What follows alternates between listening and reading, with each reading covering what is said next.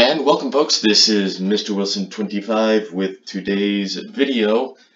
Um, well, one of today's two videos actually.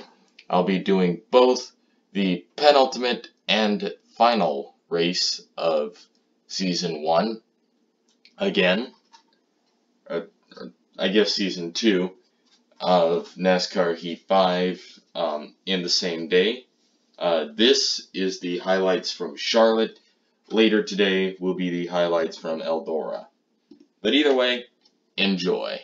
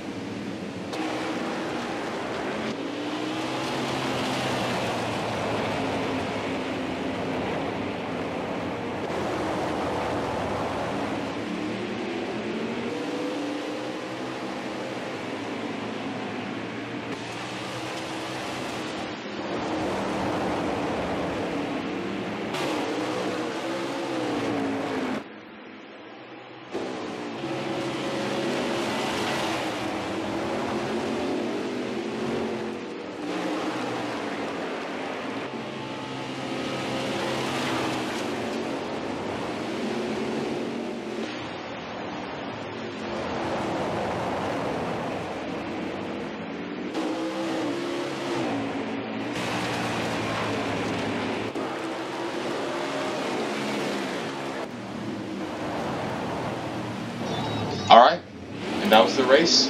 uh, because it's the elimination race, we can take a look at uh, the results and standings and everything.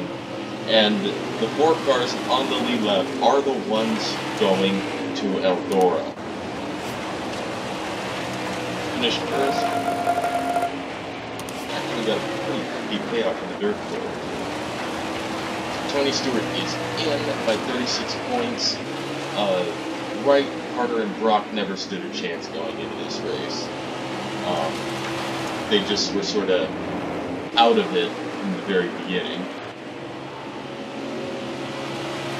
Uh, so while that's all going on, you get to race in Eldora. Well, I guess that's not really much of a surprise because I won the race in Drebin, which uh, sealed my place at the very beginning of the playoffs, so I've really not been racing for much. But this has been Mr. Wilson 25, and I will see you all in the future.